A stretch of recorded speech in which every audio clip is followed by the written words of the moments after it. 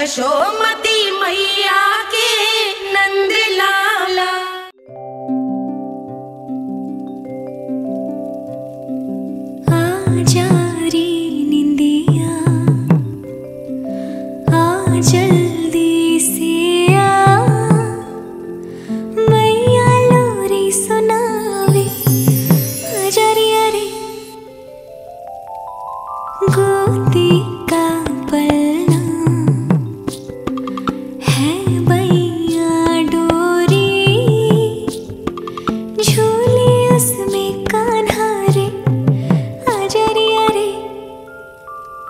मुझसे है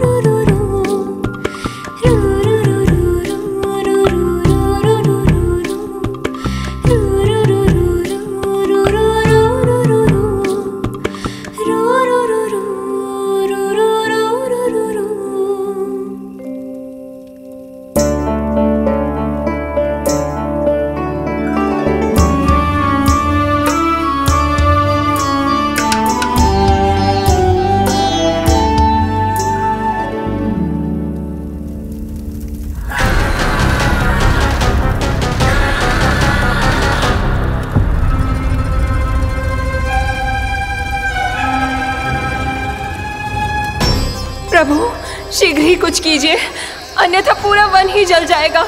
मेरी सहायता कीजिए प्रभु।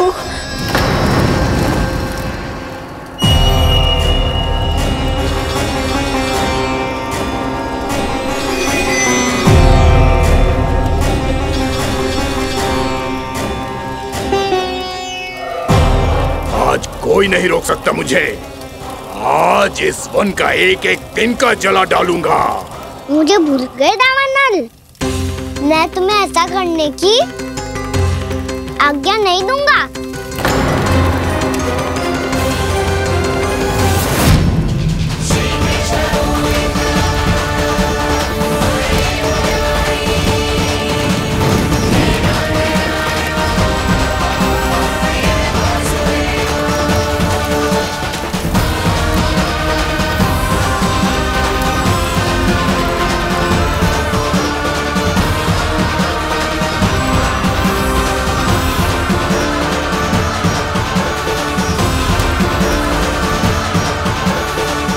मैया की नींद में व्यवधान पहुँच रहा है। मुझे शीघ्रता करनी होगी।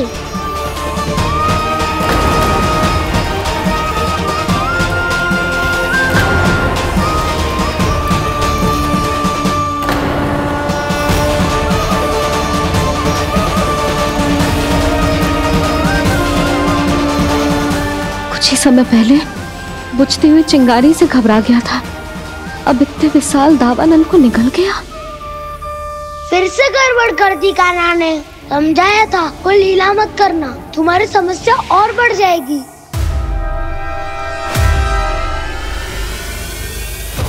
अब क्या करूँ, दाऊ?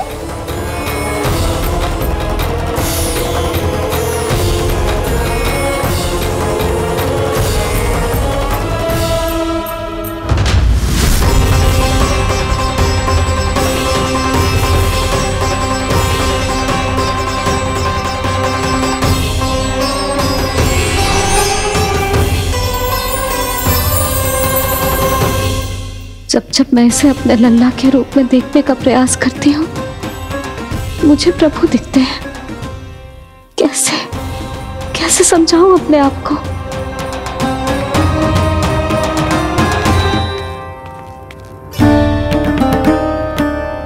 मैया, मुझे पता है, आपने कहा था अग्नि के साथ ही खेलना। पर अग्नि फैल रही थी। मुझे कछुआ कछु तो करना ही था मैया। क्यों प्रभु? क्यों छीन रहे हो एक मैया से उसकी ममता? मैं आपकी भक्त अवश्य हूँ। पर उसके साथ साथ आपकी मैया भी बने रहना चाहती हूँ। आपको एक मैया बनकर दुलारना चाहती हूँ, फटकारना चाहती हूँ, डांटना चाहती हूँ। तो फिर डांटो ना मैया। फटकार लगाओ मुझे। दंड दो। कैसे कान्हा तुझे देखते ही मुझे अपने भगवान दिखाई देने लगते हैं। मेरे मन में तेरे प्रति भक्ति के भाव जाग रहे हैं। मैया ऐसा मत ही करो ना। देखो, मैं वही काना हूँ, जिसे आप लोरी सुना के सुलाती थी। वही काना हूँ, जिसे अपने हाथों से माखन खिलाती थी। मैं वही काना हूँ मैया जो भूल करता था तो आपकी डांट भी खाता था। और आपसे दंड भी पाता था।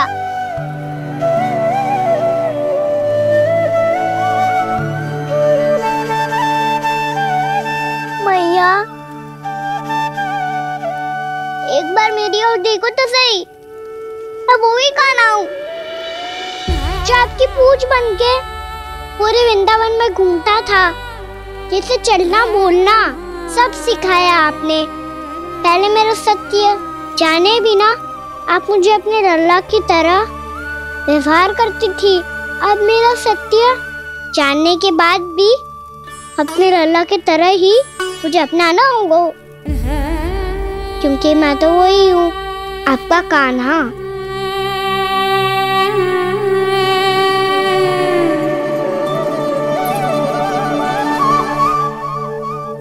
प्यार करते है तू मुझसे? जब मैं तेरे भीतर भगवान का रूप देखती हूँ तो मैं भयभीत हो जाती हूँ, कान्हा। ये सोच के कि तू तू मुझे छोड़ के तो ना चला जाएगा। कहीं गया भी तो। सदैव आपके हृदय में ही रहूँगा। वही तो है मेरा असली निवास।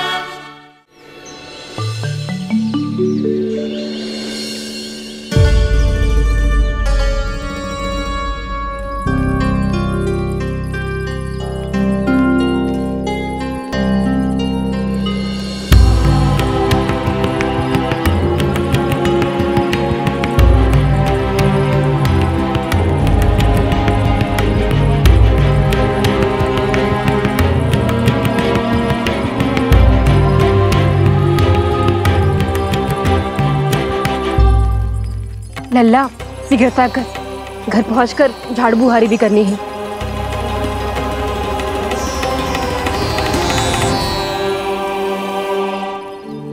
का होगा ये सब हैर क्यों गए? ये सब क्या होगा?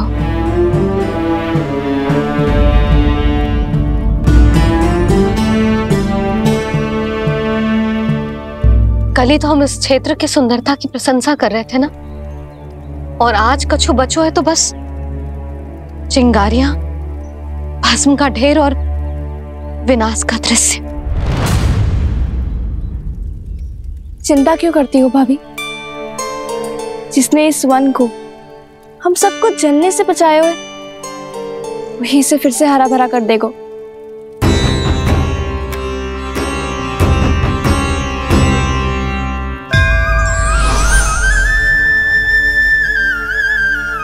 नंदराज, इस समय घर जाना सुरक्षित होगो? पूरा मार्ग जल गयो है। इन सुलगती चिंगरियों का ताप किसी बालक या वृद्ध के पाँव में लग गयो तो?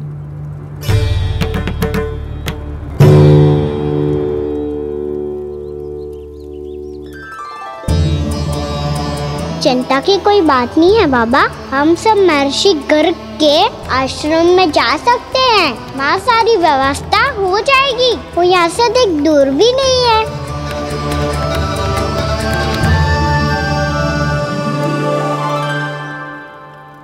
मुझे लगता है कि हम सबको ऋषि गर्ग के आश्रम जाना चाहिए। वहाँ चलकर कुछ समय उनकी सेवा करेंगे और जैसे ही अग्नि शांत हो जाएगी और वृंदावन जाने को मार्ग सुरक्षित हो जाएगा, हम सब वापस लौट चलेंगे। अच्छा विचार है। वही मैची घर जिन्होंने मेरा नामकरण करा था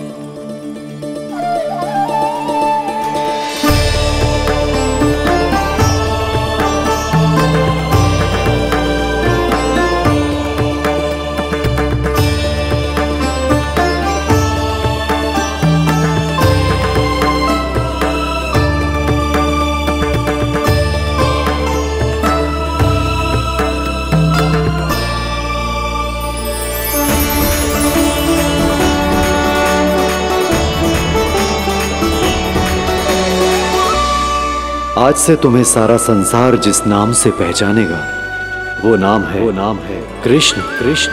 वो नाम है वो नाम है कृष्ण। कृष्ण। वो नाम है वो नाम है कृष्ण। कृष्ण।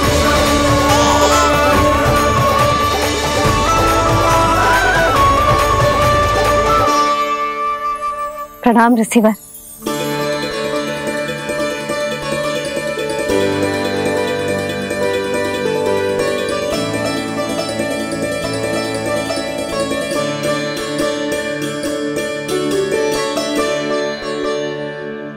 रिसीवर आपका स्वास्थ्य ठीक तो है ना?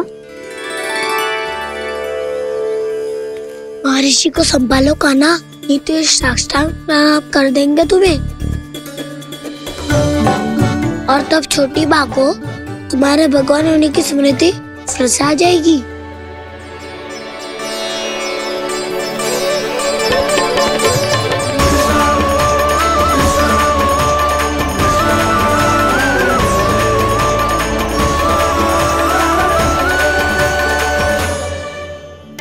भक्तों को भगवान के दर्शन मिलते हैं। मुझे तो साक्षात भगवान ही मिल गए।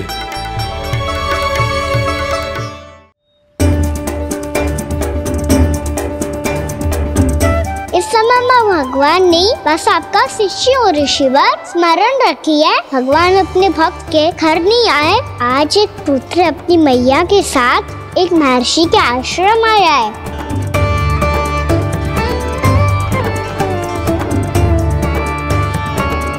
देखो तू इसे। ऐसे हृदय से लग रो है जैसे कितने अच्छे से जानता हूँ। जानता हो मैया। बाबा ने कितनी बार बताया हो इनके बारे में कि कैसे मेरा नामकरण करा था। इसीलिए तो इतने विशेष है ये मेरे लिए।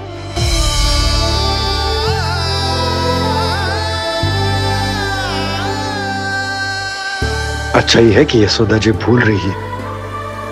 कि इसका लल्ला? स्वयं श्री नारायण का अवतार। आप सभी का यहाँ आना बहुत ही प्रसन्नता की बात है। आप आए हैं अपनी इच्छा से परंतु मेरी इच्छा के बिना जा नहीं पाएँगे। आपके साथ समय बिताने आए हैं महर्षि शीघ्र यहाँ से जाएँगे भी ना?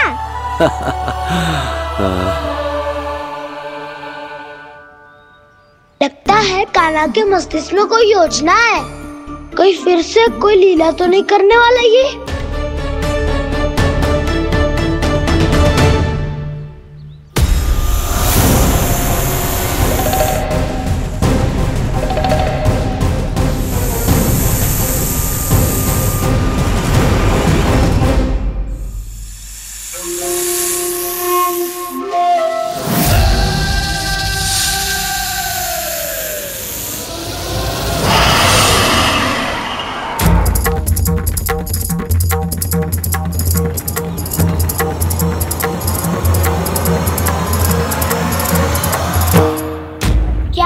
काना अपने दाऊ को नहीं बताओगे?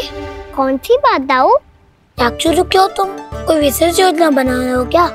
मैं कोई विशेष योजना कभी नहीं बताता दाऊ। जो होना होता है वो अपने आप हो जाता है। वैसे दाऊ योजना बनाओ भी क्यों? आज कुछ विशेष थोड़ी ना है।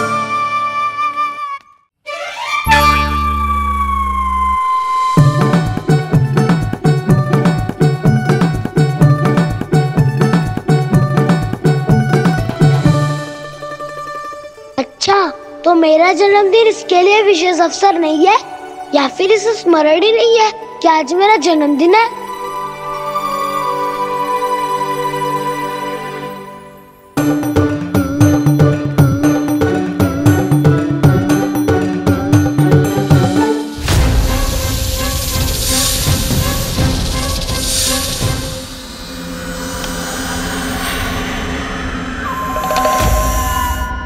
ओहो काना कितनी दूर फेंक दी? अब जाके लेके आनी पड़ेगी।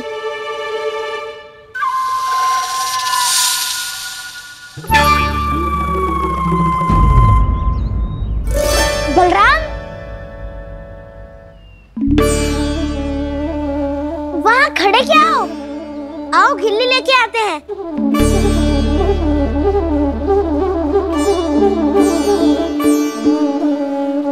चलो भी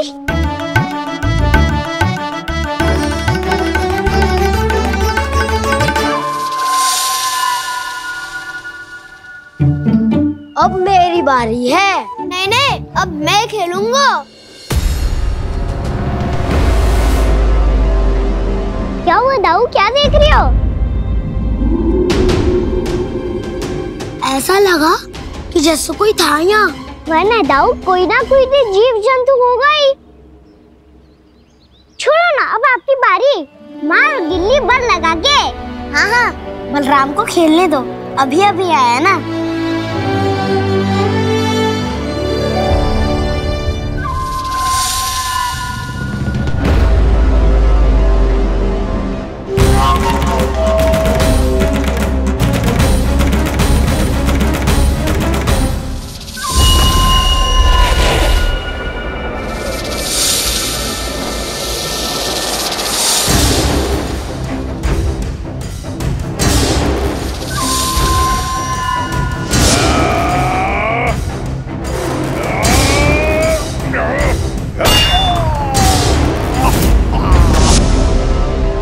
यही हत्या की थी ना उसने मेरे भाई बकासुर की।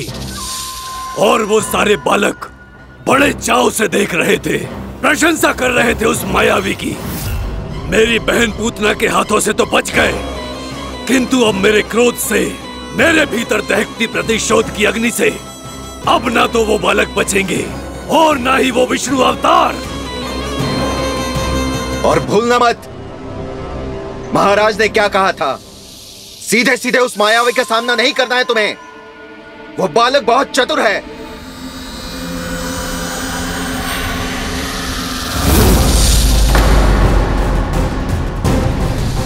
पर है तो एक बालक ही। और एक नन्हा सा बालक क्या हानि पहुंचाएगा? मुझ जैसे महाविशाल, महाशक्तिशाली अघासुर को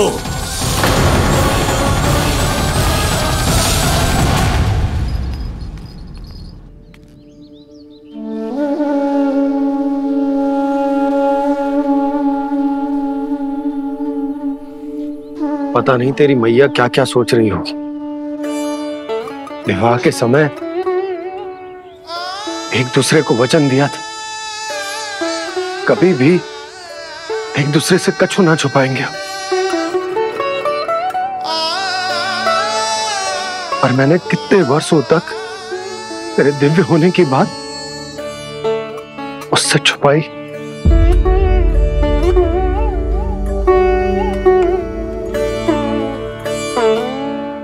काना तुमने ही तो कही थी कि मैं तुम्हारा सत्य तुम्हारी मैया को ना बताऊँ। फिर तुमने स्वयं ही उन्हें अपने सत्य के बारे में क्यों बताया?